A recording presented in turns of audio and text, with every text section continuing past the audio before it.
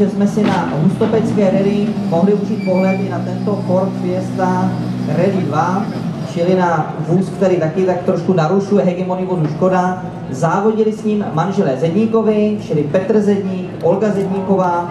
Je to posádka, která skončila 13. v absolutní klasifikaci, to je velmi slušný výsledek. A zároveň tato dvojice, pokud se dobře dívám do výsledku, zvítězila v kategorii 55 plus pro nejzkušenější piloty startovního pole. Takže Petr Zedník v podstatě navázal na to, že se stal historicky prvním mistrem této kategorie 55+, plus a na Ústopecké rally tuto kategorii opět opanoval. Dobře?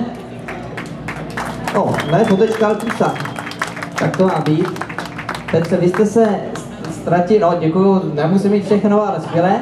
Eh, vy jste se ztratí mistrovství republiky vytratil a závodíte teďka hlavně v rámci Českomoravského poháru. O to radši jsme, že jste závodil v Ústopečí. Jak to s vámi bude do budoucna? Vám se to ČMPR nějak zalíbilo?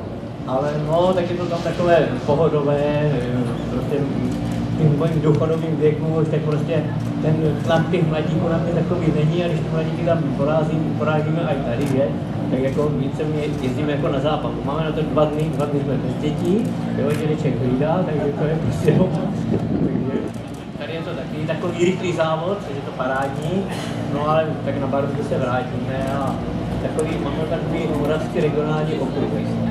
Čechy už ne.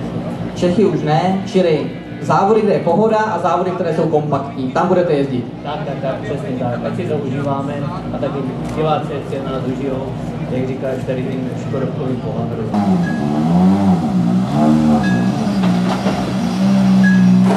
Pojďme dále.